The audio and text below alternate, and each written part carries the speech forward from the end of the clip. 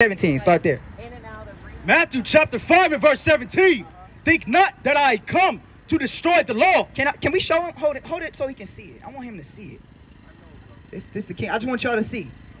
Right? It's the King James Bible right here. What did what did Christ say? Read. Think not that I come to destroy the law. Christ said, "Think not that he come to destroy the law."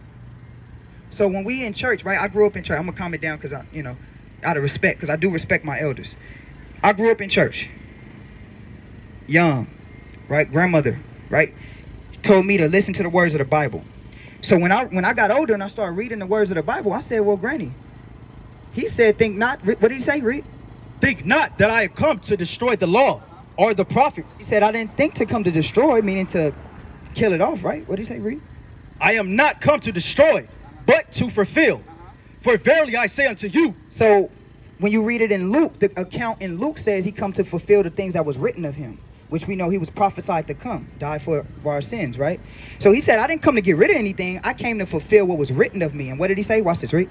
Till heaven and earth pass, one jot or one tittle. So he said, till heaven and earth pass, so heaven and earth, he said, not one jot or tittle, that's a small thing, read. Shall in no wise pass from the law. He said, nothing shall pass from the law until heaven and earth pass. But we still see heaven here. We still see earth here. This is the words of Christ. What did he say, read? Till all be fulfilled. Whosoever therefore shall break one of these commandments. Christ said, whoever break one of these commandments. So I'm gonna give you an example, like the Ten Commandments, right? We we keep the Ten Commandments, right? Thou shalt not steal, thou shalt not kill, right? Love your honor your mother and father, right? The fourth commandment is keep the Sabbath holy. That's the fourth commandment um, before you, I think I don't know if you guys heard, but before we was actually showing in the Bible that after Jesus died, once Jesus died, they still went to church on on Saturday, on the Sabbath. They read the prophets every Saturday. Did you guys hear when we brought that out? Yeah, they read it every every Saturday. And when you actually do the uh, research and you find out, well, where did we get Sunday from? Sunday was actually instituted by the Roman Catholic Church under Emperor Constantine. You can Google it on your phone right now and see. When did Sunday worship be established? Because they never worshiped him as a whole and went to church as a whole on Sunday. Never. That was a new thing that they did. That's why when you read in the book of Daniel, when it says he, he shall think to change times and laws, right? Can you get that for me? I think that's Daniel 9. The Bible tell, told you that there will be an antichrist in the last days that will think to change God's laws. So when you look at that, the Roman Catholic Church, they said, no, no, no, no. Sunday is going to be the day that all everybody worships now. And the Council of uh, Nicaea, there were two councils that took place where we get our uh, traditions from today in Christianity, modernized Christianity. Because when people say, well, you're not Christian, I am Christian because I do believe in Christ. But the practices that we're doing today are not right according to the Bible. You see what I'm saying? Because Jesus said, keep the commandments, right? Now, finish that off. Hold that. Read. Therefore, and shall teach men so, he shall be called the least in the kingdom of heaven. But whosoever shall do and teach them, the same shall be called great in the kingdom of heaven. Give me John 14, 15. So, my name is uh, Ratazan, um, but if you have any questions, feel free. We really out here to be respectful. We not out here to be disrespectful. So if you want to say something, I'll listen to you. You had a floor. Because what I wanted you guys to do was to come challenge what I'm saying too. Maybe, maybe I could, maybe, maybe I'm wrong. Maybe I am wrong. You know? So, nah, I can't go in there. They not teaching on the right day of God. Huh? Because I've been in there. I used to, I've been in this church a couple times when I was a Christian. I, I, was in the youth department in this church. It was so much wickedness going on in the youth department, I thought I was at a club. I'm be honest. I seen people that I went to school with up in here. I'm like, what you doing here? I really believed I was really trying to do it. I was a minister at 14. I used to go in here. I went in here a couple times. Seeing people that I, um, my, my old barber, his name was Mr. Nolan. He's a faithful member that goes here. He used to cut my hair down on 84th he I used to call him my spiritual grand, grandfather. He used to take me uh, up here every sun, um, not every Sunday, but a couple Sundays I would come in, be in here with him, youth department and all of that. They was doing so much wickedness in the youth department. I was like, is this church? What is this? You see what I'm saying? So I've been in there, brother. I've been in there a couple times. Matter of fact, I've been so deep in the church, I didn't, I didn't, I didn't talk to uh, uh, uh, uh, uh Fred Price. I met Fred Price talk to Fred Price. You know, Fred Price actually knows that the Israelites were black, right? He had a whole, I remember back in the day on TBN, he had a whole special showing that the people of the Bible was black. He got kicked off of TBN for doing it. You remember that? I don't know if you remember that. He had a special. Look it up. You can YouTube it. Matter of fact, before y'all leave, I could give I could give you I forgot the series. He had a whole series showing how the people of the book was actually black people. This is Fred Price. My grandmother and them used to watch Fred Price faithfully. I used to have to sit at the foot of the bed and watch him preach. And I ain't gonna lie, Fred Price was I I, res, I respect him for bringing out that much. He did. He brought out the truth, and I'm telling you that he got kicked off of TBN for doing that. He got he got um um in trouble with TBN a couple of times for doing certain things. You understand? But that should let you know right there. Well, something ain't right because if he's bringing out the Bible, why is he getting in trouble? Because it doesn't go with the tradition. So all we're doing is we're challenging the traditions that we've been taught since children. You understand? That's all we that's all we doing is challenging the oral traditions. Like I was showing them that Christmas, right? I'm gonna just example, another one, another big one actually, Christmas. Was Jesus born on December 25th? Then who was? As, you know. I, you say so. was Jesus born on December 25th? Let's ask that. Maybe I don't know, but I want to ask you, was Jesus born on December 25th? No, because when you read the story about when he was in the manger, it says that the sheep and all of that, they was out there grazing and all of that, right? How could you, and, and it snows in Jerusalem, it get cold. If it was the winter, how could any animals be doing anything grazing all that? And then even with the North Star, that star does not come out. That star comes in this, on the springtime. Christ was born around spring, around Passover. You understand? So when we say, well, December 25th, well, where did we get that custom from? Who was really born on December 25th? If you really look it up, it, you'll be Nimrod. It's a, it, Nimrod was a Babylonian god. December 25th. He had a, uh, a sexual relationship with his mother and had a son called Tammuz. When Nimrod died, they said that his spirit went into, this is real, his spirit went into the trees. This is why on Christmas we cut the tree, put it in. You ask yourself, what is a tree? Yeah, and we're going to read it in the Bible too. What does a tree have to do with God? Let's see where they got that from. What's what the Bible says. This is this is what this is what shattered my foundation as a Christian. And I couldn't ignore it. And I don't want to take too much of you guys' time, but I'll just show you this last thing. I couldn't ignore it. When I read this stuff, I couldn't ignore it because I, I really wanted, wanted to know God for myself.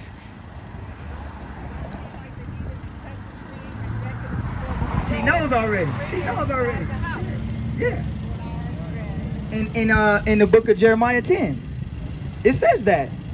Yeah, let's she right. She already know. They already know. That's why they stopped. Because I, I knew they had to know something. Because, you know, they stopped. So all praises to God for that, read. Jeremiah chapter 10 and verse 1. Hear ye the word which the Lord spaketh unto you, O house of Israel. Thus saith the Lord, learn not the ways of the heathen. Says this, so this is the ways of the heathen, first off, right? Read. Be not dismayed at the signs of heaven. Which they worship the stars and the moon, right? Read. For the heathen are dismayed at them. For the customs of the people are vain. They do vain customs, read. For one cutteth a tree out of the forest. Like you said, mama, one cutteth a tree out of the forest, read. The work of the hands of the workmen with the axe. They deck it with silver and with gold. You put lights on it, put little ornaments on it, put a star on the top, read. They fasten it with nails and with hammers that it will not move. We put the little thing at the bottom, the base, so it won't move. And then we put presents under it. You know those presents symbolize we actually giving an offering to the tree. And when we bow down to get those presents, go get the uh, presents from under the tree. We're bowing down and paying homage to the tree. Now ask yourself, where did milk and cookies come from? The milk and cookies is a burnt and a meat offering that you used to give to gods. So when you leave out the milk and cookies for Santa, you see, and ain't, ain't Santa Satan, when you switch when you switch the words around, they telling you. That, that, so now, when I look at this church, this mega church who we're giving our money to to preach us the truth of God, and they're not bringing none of this out, and they keeping us in these traditions, I got to question whether they really my spiritual guide, guiders or not. And then I got to go to this real quick, Matthew 25. Yes, sir.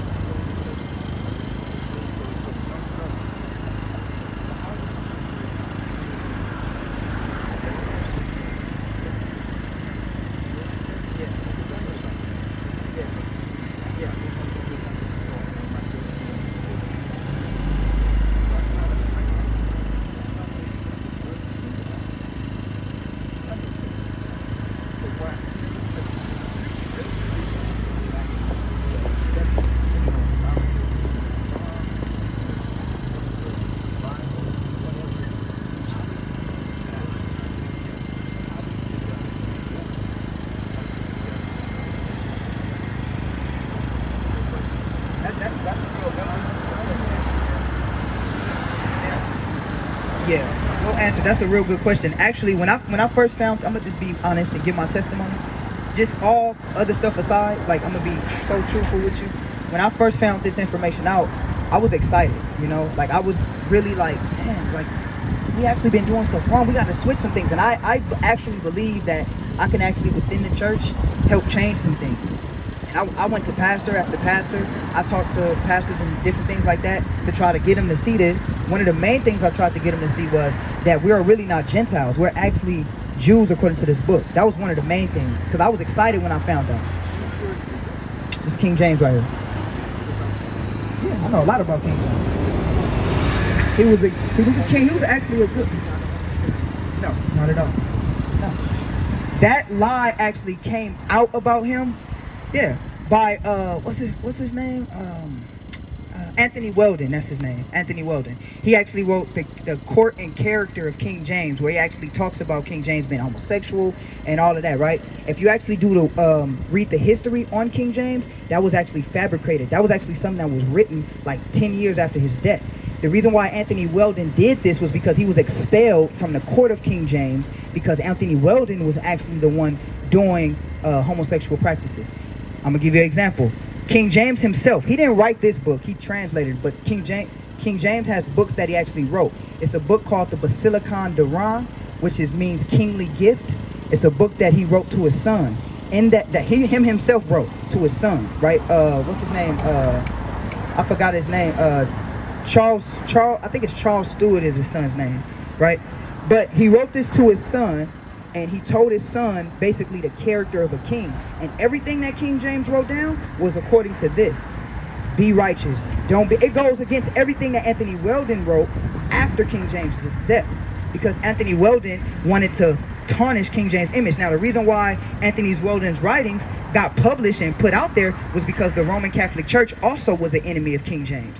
That's why when you look at the gunpowder plot or Guy Fawkes, they tried to assassinate King James a number of times when you watch that movie V from Vendetta, that movie is actually a movie dealing with how they tried to assassinate King James.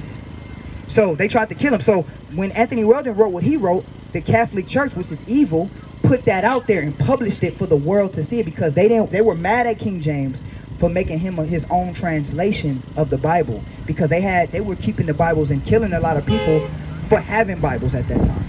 So so go ahead. Yeah. Mm-hmm. and,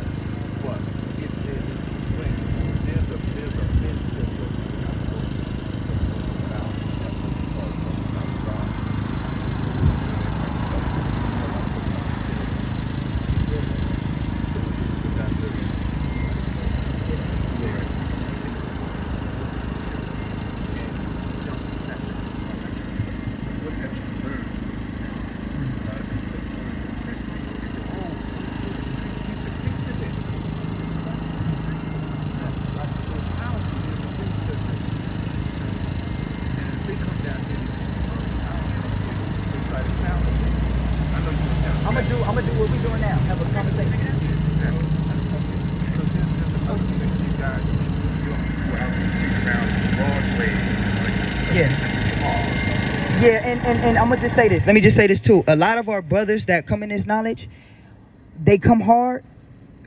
We don't come that hard because we understand that there has to be a balance. So you have in any any faction that you have, you're gonna have somebody that's a little harder and somebody that's a little softer. Unfortunately, in New York, they just that's how New York New Yorkers are. They they hard in New York. I mean, I know you know. You know, we come with our own spin of the truth. It's still what they saying is still right, but maybe their approach needs to be a little better. And I, I agree with that. That's why I'm respecting you. Yeah. Yeah.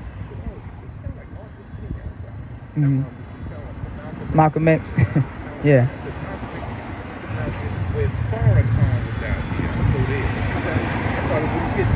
Mm. Mm-hmm. Yeah. Great speaker.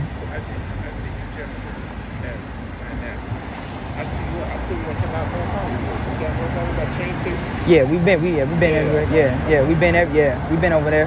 Yeah. But if we could get the voices and get them together, men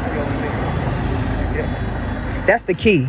Um, I wanted to show you something real quick. Give me uh Matthew 22, because unfortunately, like when you read the words of this book, um, how can I say this? The words of this book tell us that everybody's not gonna make it, right? Tells you that only um, the multitude will be go to destruction and the narrow find the light. So unfortunately, how you doing, King? Everybody is not gonna see it. And I learned that the hard way when I was in the church and I tried to bring this to the church and I got xed out. You know? Now let's what's that? What you got? Let me see. Yeah, I wanna just Nah, not that one. Uh uh broad is the way to destruction. I want that one. Where's that at? I think it's Matthew 20 Go to 24. Let me see if it's Matthew 24. Let me get this for the elder real quick. Uh, um, let's see. I don't want that. Uh, I think it's 25. Let me see. Hey, if somebody could get that on their phone real quick. Um, I want the scripture where it says, broad is the way to destruction. That's the one I want. I want to get that one real quick. And you hold this, because I want you to get Matthew 24 for him real quick. I'm trying to hurry up so Give me that one. And then let's read this though for, for now. We'll read this. Yeah. We'll read 24 2, but I want the one he getting too. Matthew 24 and verse 24. For there shall arise false Christ. So the Bible already said there's going to arise false Christ. Right? Read. And false prophets, and shall show great signs and wonders. Great signs and wonders are shown all throughout particular Christian churches. Yeah, hold that. Great signs and wonders are certain. They come in the name of Christ. But now, like you said, are they doing the works of Christ? So if they're not doing the works of Christ, but they coming in the name of Christ, that means that they're antichrist. Watch, read what it say, read.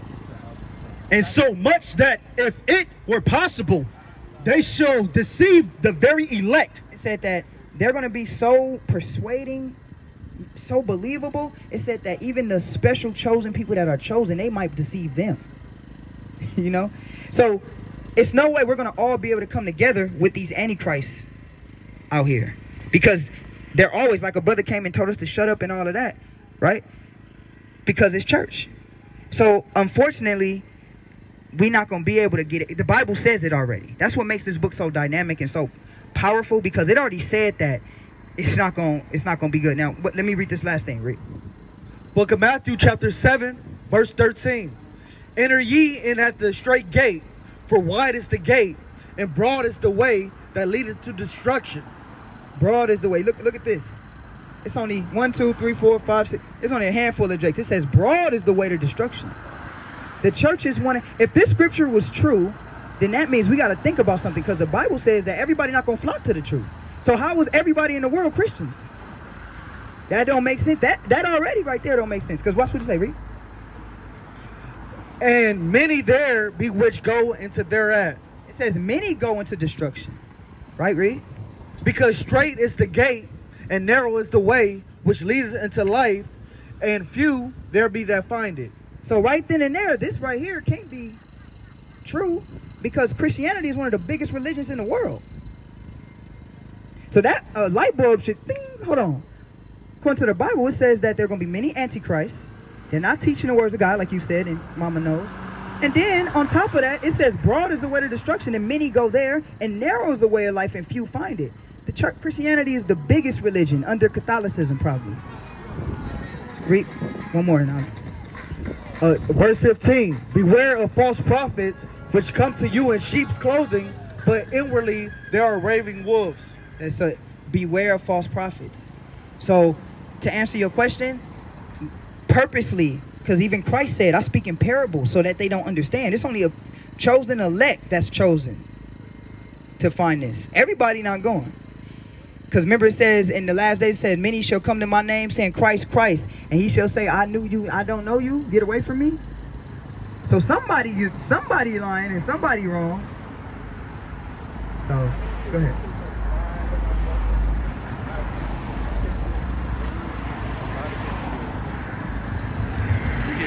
get pictures in there, whatever they put in, you know, put spin it there.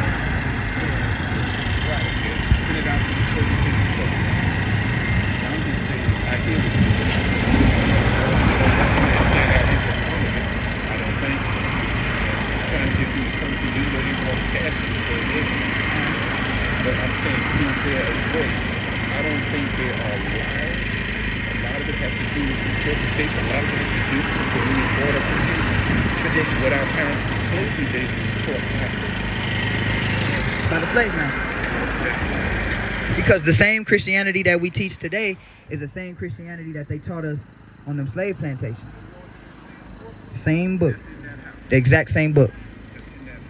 And we read in verbatim, yeah, the same book that's in there. Yeah. Yep, the same book. So that means that I would love to sit down and and really read it.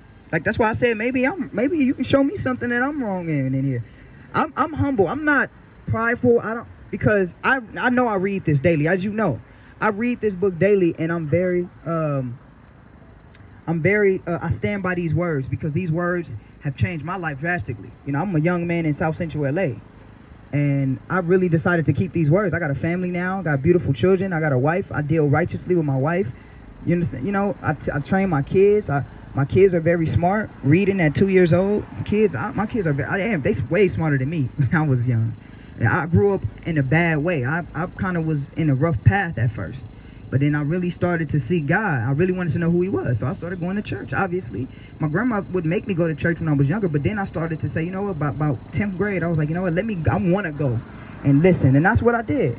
And I listened, and I, I read, and I tried to understand for myself, and I realized that we're not doing what the book that we say we believe in tells us to do. So I would love to go in there or go in the men's study and talk to them about this and have a discussion, not an argument, a discussion. You know, I know we be loud and we be passionate, but when you come talk to us, we're not rude or disrespectful. You know, so I would I would love to have any discuss, discussion, but um, uh, you know, a discussion. I don't want nobody to be mad at me, you know, because I've had that. I've been thrown out of church before. I've I've went to my, my as a matter of fact, the church that I was actually doing service in, me and the pastor got into a, a big argument, big argument, and uh, I haven't talked to him in years.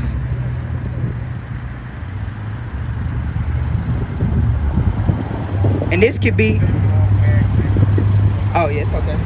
And this could be all cameras off, just between us and them, or m- me and a couple brothers and them. We come in peace. We'll even come in our regular clothes. We ain't even gotta come all militant. you know? Okay. Okay. I brought one of my Muslims to my tight part now, Muslim brother, and they weren't very kind to you challenge him. But Your Muslim brother wasn't kind, or they weren't. They, they weren't. Uh, And but I still want to challenge me for even bringing him there. They said, "Well, have you been to the mosque?" And I said, "I have been to the mosque." Okay. He said, "Well, did they give you a platform?" And we gave him a platform. yeah. I didn't go there to see the platform. Right. I've been to the mosque. I've been. Um, I know Alfonso, brother Alfonso. I know a couple of Muslim brothers. I've been. I've been to their establishments a couple of times. They know who we are as well. But that's the thing. If I come, I don't want to be disrespectful because I know that's they that's their house. So if I come, I just want to be them. We talk, have a discussion. Uh, Ratazan. Yes. You remember when we were watching the videos of Farrakhan? And Farrakhan was talking about uh, Christianity and Jesus. And I told you there's a backstory. You remember? I never told you what that backstory was. But it's kind of like the backstory to what's going on with what you're talking about, Uh-huh. what's going on in that church in there, and why they're not following every letter from the Bible. Right. It's the same thing with Minister Farrakhan when he talks about Jesus and Christianity. The backstory for Minister Farrakhan that was explained to me is that because so many of our people have been indoctrinated to Christianity this way, he can't reach them if he totally becomes confrontational and dismisses it totally. Mhm. So certain things you just have to Wisdom. Let it ride in order for them to hear you. Mhm. And once they hear you and they accept small bites like baby food, you feed them milk until you're able to eat meat. Mhm. See, Minister Farrakhan really believes that Christianity is the slave man's religion that was given to us to make us subservient Right. to the white man. That's what he really believes Christianity is. But if he said that out loud to the masses, he says it to his few behind doors who all know and agree with him. But if he got on a platform like this church, like he does to hundreds of thousands of people, and said that, most of them would walk out because we are so indoctrinated into this Christianity and this Jesus. Right. And so when you say the mega churches, why do they read this Bible but they do something else Gotcha. based on tradition or whatever? It's because tradition is what has in what's the word? We've been trained that It's, way. yeah, indoctrination. Yeah, as a In- child. th- That's the word. Tradition. Yeah, so so you you can't get to people if you just try and take everything away from them. So he chops away at it. That's the backstory. Because Minister Farrakhan, he he believes that same thing uh, Fred Price says. I believe that everything in the Bible is truly stated, which means somebody said it Mhm. but I don't really believe that everything in there is true. Mhm. You know what I'm saying? Yeah. So, you know, you have to just feed people what they can take. And as they come along, then you can take them aside and give them more and separate them from the people who are still eating baby food. Yeah. That's that's wisdom. I'm i I'm am I'm gonna be honest with you. That's wisdom. Um, the reason why, because like I was telling my elder, um, we understand that. I, basically, we don't do it for numbers per se. Like so, when we come strong like we come, it's not to really get people to follow us because we know that Jesus didn't do it like that. You know, he he taught the people and gave them. He said he was a steward man. Um, we do come in those ways too, but we do come hard, and I'm gonna show you why we do, real quick. Um, but you're absolutely correct in what you were saying. But I'm gonna show you why we do what we're doing out here, so you can know it's not just us coming out here to try to take people from that church, because we know we're not gonna do that. I- Here's the word. that, that thing that gets their attention, you know, Yeah. because that's what my mother taught me. She said, uh, I had a lot of questions about the Bible growing up. I grew up Church of God in Christ. I had a lot of questions.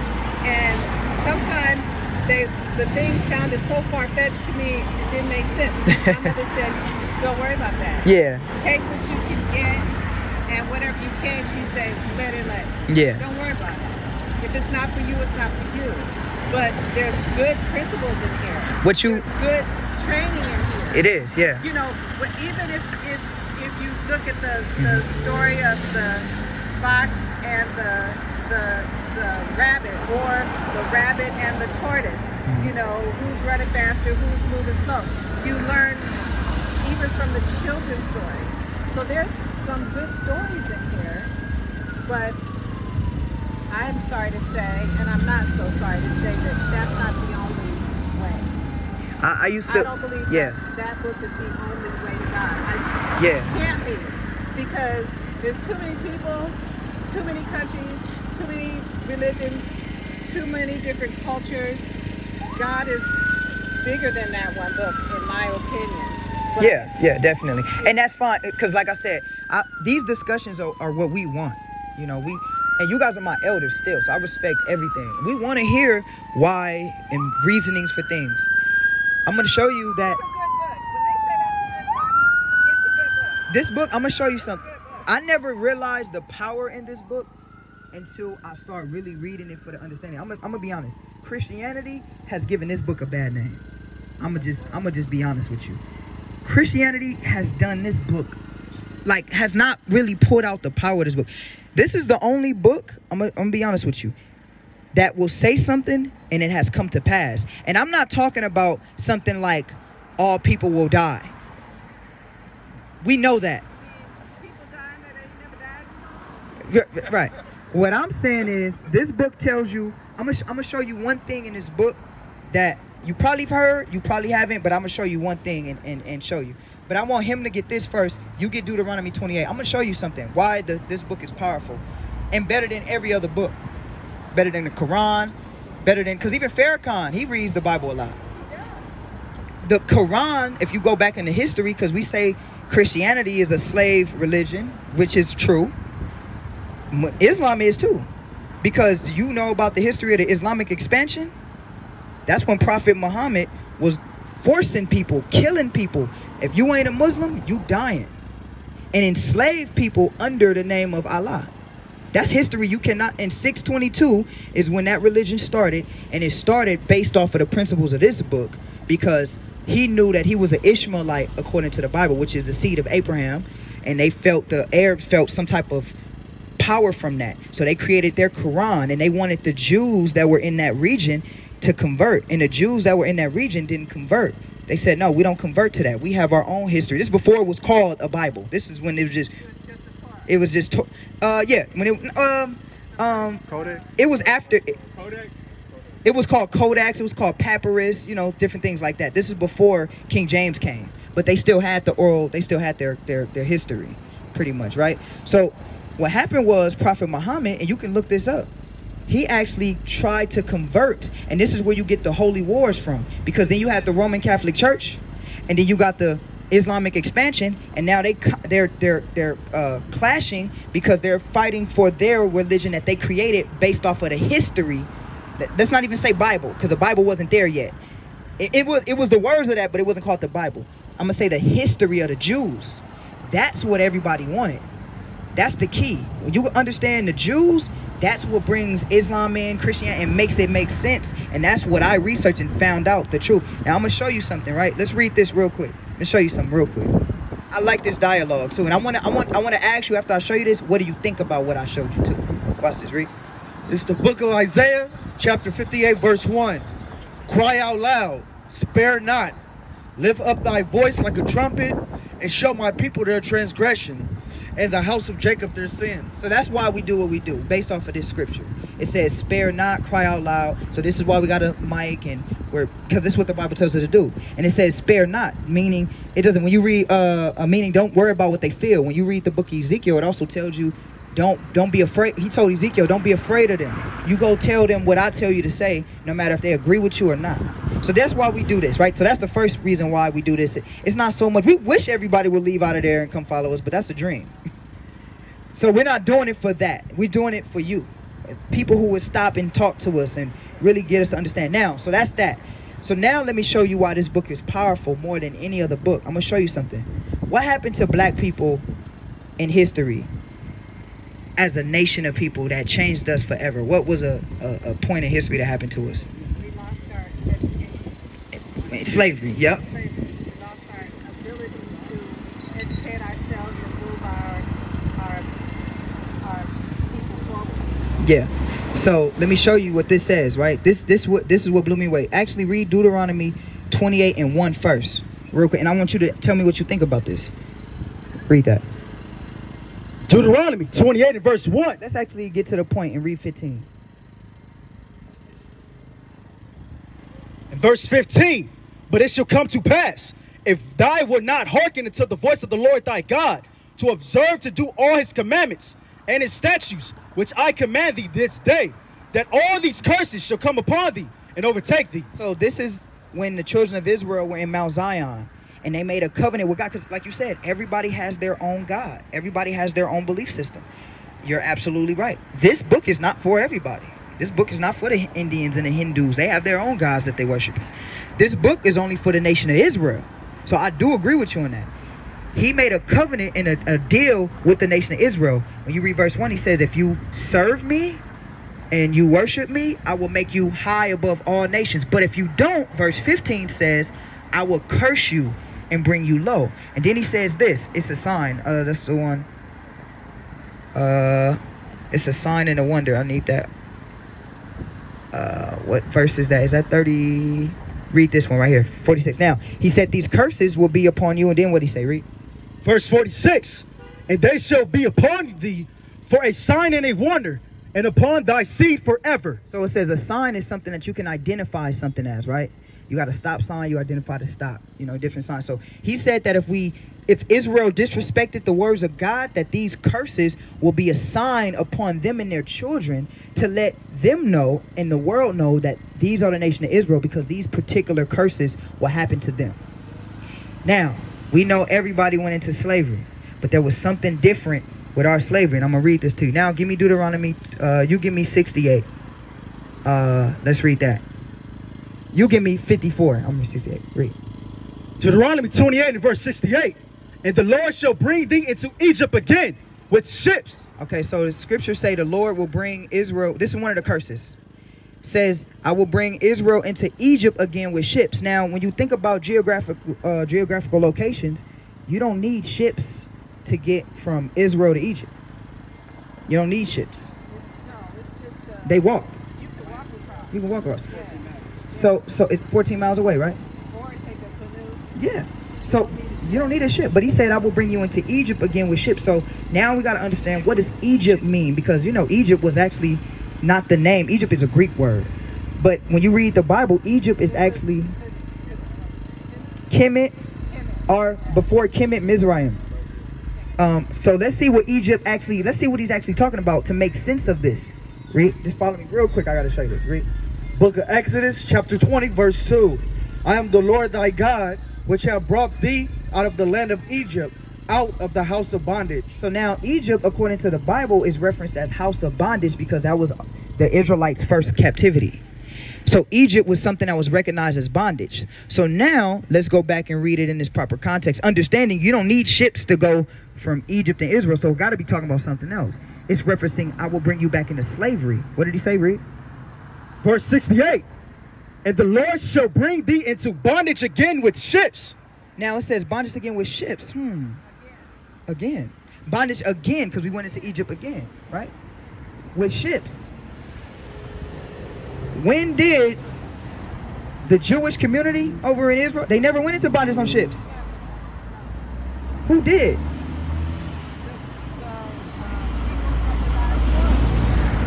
We we did. Didn't it say that this will be a sign upon Israel? And nobody else went into slavery on ships as a nation. I'm not talking about here and there. Oh, there were slaves here. No. As a full nation of people taking one people from one continent of the world into a whole nother continent on ships for years. Over thousands and thousands and hundreds of thousands of people taken into ships in slavery on ships for hundreds of years. 2.6 million. The Bible prophesied that that would happen to Israel. So when I read that, a light bulb went out. Hold on. That only happened to us. And but now watch what the Bible said what happened. Not only did it give you the detail of ships, this is why this Bible is powerful right here. Because not only did it give you the detail of ships, look what else it said. Watch this, read. By the way whereof I spake unto thee, thou shalt see it no more again. It says you ain't gonna go back. It said not only are you gonna go in the slavery on ships, it says the way of you ain't gonna know how to get back. You ever seen them slave documentaries? They looked out in the ocean, they didn't know where they was at. They didn't know. They was like, I don't know how to navigate back. We don't know where we at. He says you will not go back. Have we went back yet? We still here. What, but watch what it says. Yes. We're still here. As a nation. As a nation, we're As still far here. exactly. Yeah, they tell us to go back. Exactly. We can't go back. But look, look, look, this is the Bible. This is the power. Now watch, watch this. Read. And there ye shall be sold unto your enemies. It's given. This is detail. This is you're gonna be sold on ships. When you get there, once you're not gonna go back, and when you get to the place where you're going, then you're gonna be sold to your enemies. Auction blocks. Fifty thousand going once, fifty thousand going twice to this. You see? Yeah, I don't want to keep you too long.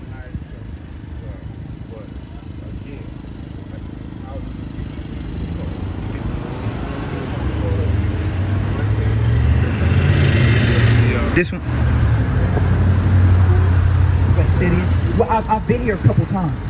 Yeah. But you went to school. Yeah, yeah, I've been here. Yeah, I was in the youth. Yeah, The youth yeah, I, I was in the youth. Yeah, but I was I, I went to many different churches, but I, I this was like a popular church to come to. So I've been here. You were on the street. Yeah, I've been there. in the children's, uh, children's church here? I came I came here when I was a teenager. I was, when I came here, I was a teenager and I was in here, and I went to like youth. I went to uh, summits here. I've been in youth and all that. But I, when I was a child, though, I went to a church with my grandmother. My grandmother went to church. She lived out here at first before she moved to Ontario. But when I was a child, child, I went with my grandmother. But as an adult, that's when I came here.